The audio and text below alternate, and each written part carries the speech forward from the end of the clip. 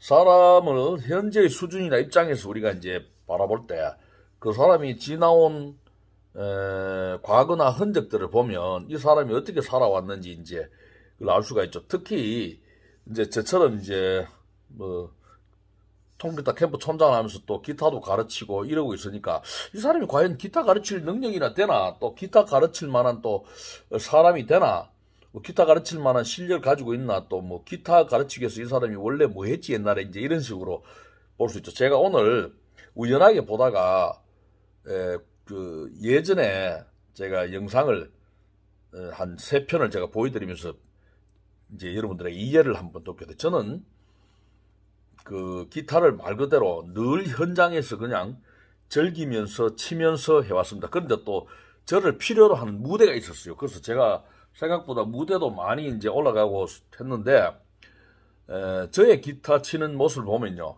저는 첫째 이제 무엇보다도 이제 반주기하고는 잘 제하고 잘 안 맞고 사실 두 번째는 또 제가 현란한 기타를 치는 사람이 아니에요. 그다음에 또 세 번째는 제가 악보를 보면서 이렇게 발라드 막 공연하는 그런 스타일은 사실은 아니거든요. 기타를 오래 치다 보니까 그냥 막 이것도 하고 저것도 하고 했지만은 예,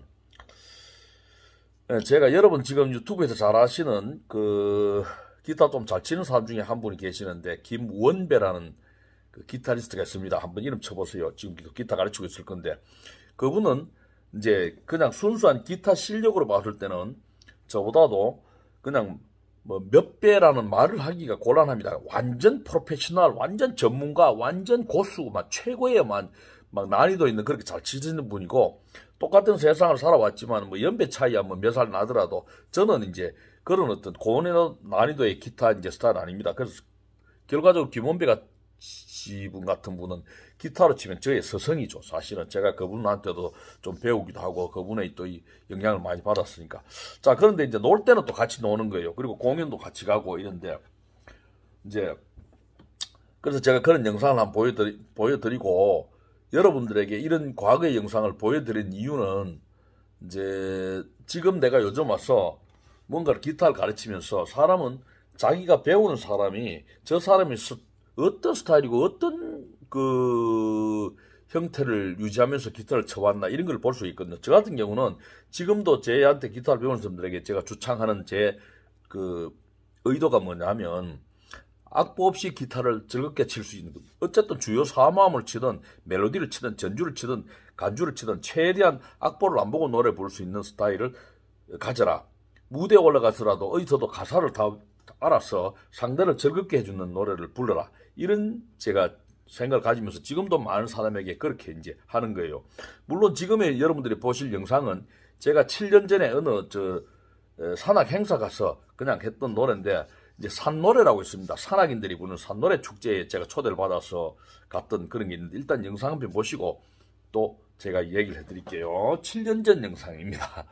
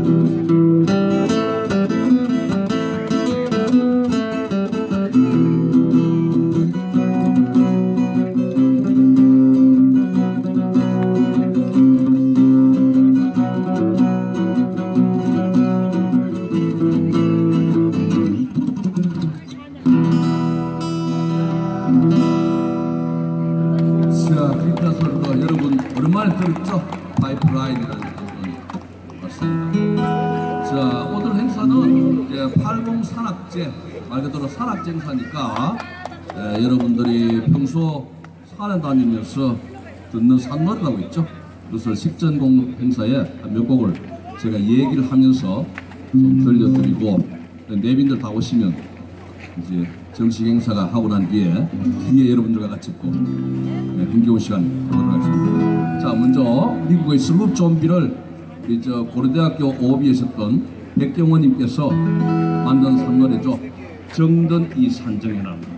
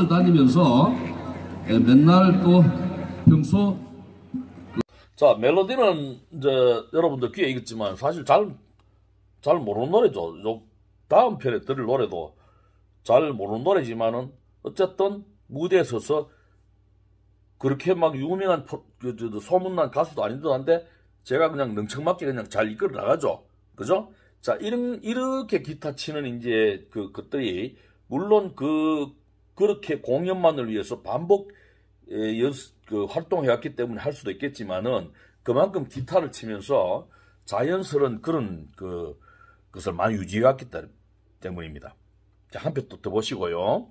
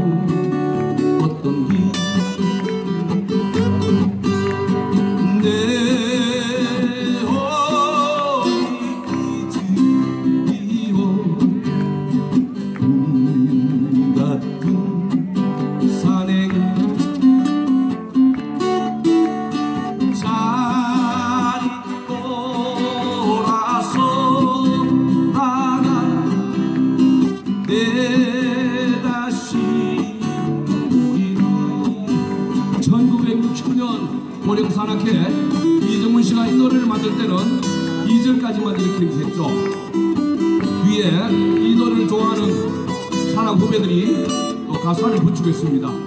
서울에 있는 백두산닷컴의 대표 윤치술 씨께서 3절 가사를 붙였죠.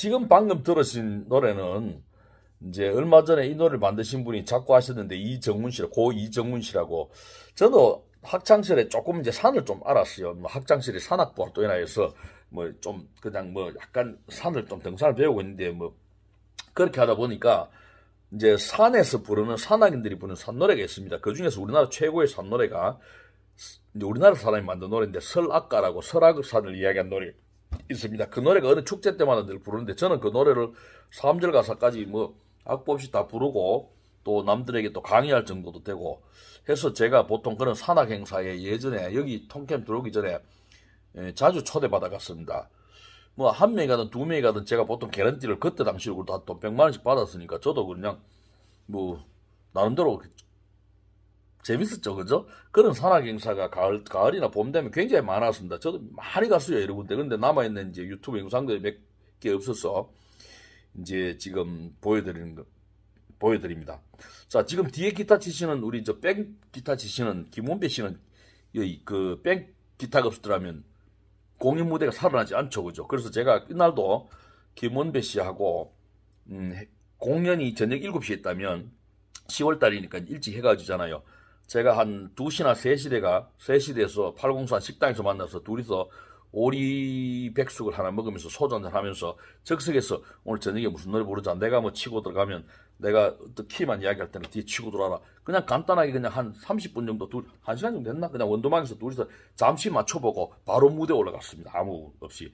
그러면 왜 그렇게 그게 성의 없는 거냐? 성의 없는 게 아니라 그만큼 준비가 된 것이고 저는 어, 오랫동안 그 그러한 노래 이러한 노래들을 부르면서 놀아왔고 즐겨왔고 해왔기 때문에 가능한 것이고 김원배 씨 같은 기타리스트들은 에, 오랫동안 프로페셔널한 기타를 치며 쳐왔기 때문에 수많은 그저 애드리브나 그 짜임새 있게 중간 중간에 저, 저 경고음들을 많이 넣어줄 수 있는 그런 실력자이기 때문에 가능한 거예요. 기타 두 대만 쳐도 마치 음, 충분한 그 에, 공연을 토해낼 수 있는 그런 영상일 겁니다.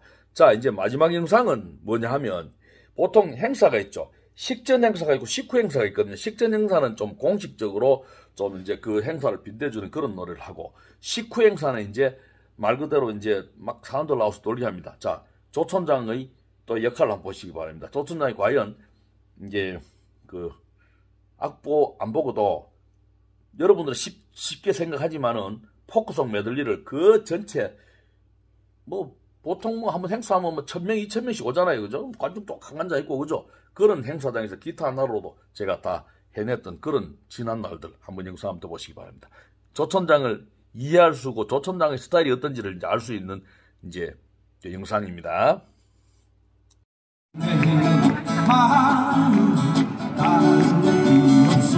짝사랑 짝사랑하고 나가요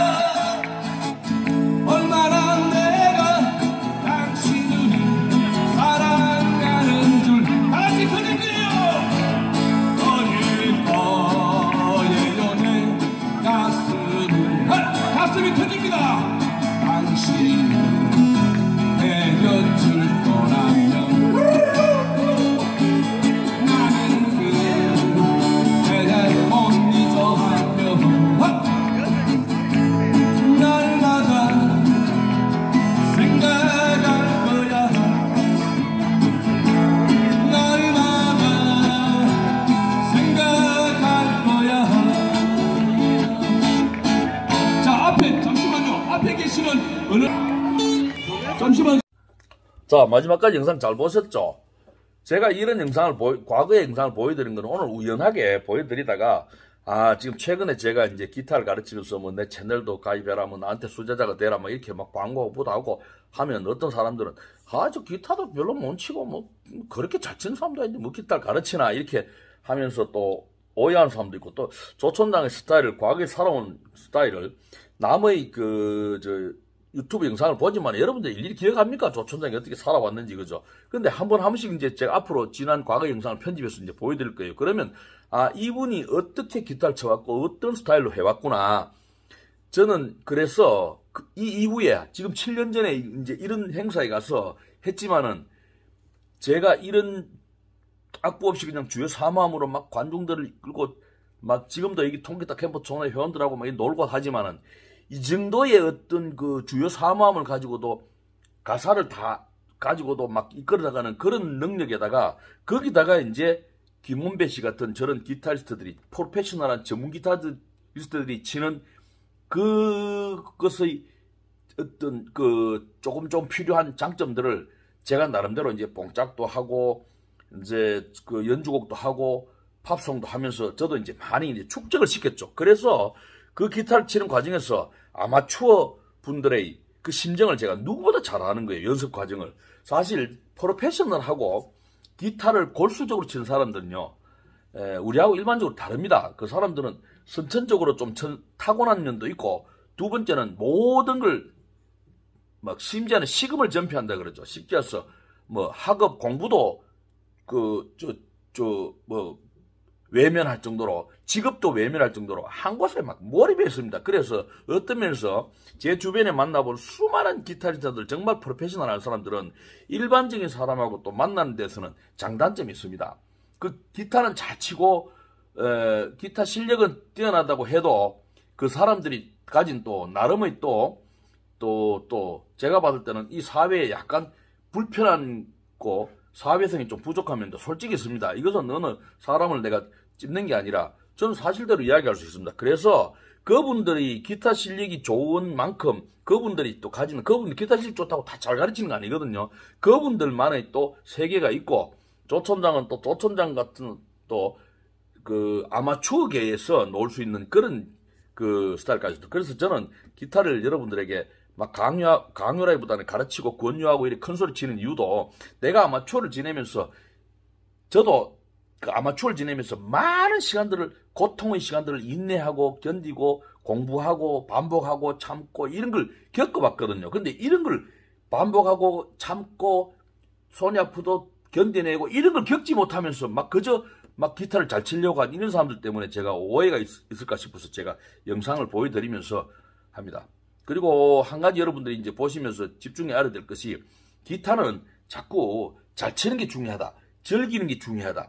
기타는 뭐가 뭐 중요하다. 이런 걸 가지고 어떤 단정을 짓지 말기 바랍니다. 사람들은 이런 스타일이 있고 이런 스타일이 있고 이런 스타일이 있는데 제가 제 과거의 영상들 하나 보여주고 이걸 하나를 가지고 전체 조천장을 단정하라는 게 아니라 아 조천장은 무대에 올려놔도 언제든지 사람들이 어떤 지금도 어떤 행사가 와도 조천장한테 무대를 던지놓으면 저는 그 무대에서 그- 그날 무슨 노래를 불러야 되는지를 가- 정도를 저 레파토를 가지고 다 쳐낼 수 있는 내 나름의 그런 노하우를 가지고 있거든요. 그런 걸 배우러 제 곁에 많이 오고 제온 그 어, 주변에 사람이 그 붙는단 말입니다. 단순하게 음, 어떤 기타리스트처럼 뭐 기타 깔끔하게 잘 치고 기타 막 그 수십 년 밥만 밥만 먹고 기타만 쳤던 그런 사람들의 노하우를 우리가 따라갈 수는 없잖아요. 지금. 그거는 말 안 해도 프로가 될 사람들은 말 안 해도 알아서 프로가 됩니다. 우리가 원하는 거는 그런 거 아니고 때문에 조천장의 예전 모습을 보여드리면서 조천장의 현재의 스타일을 여러분이 이해하는데 참고하라고 보여드렸습니다.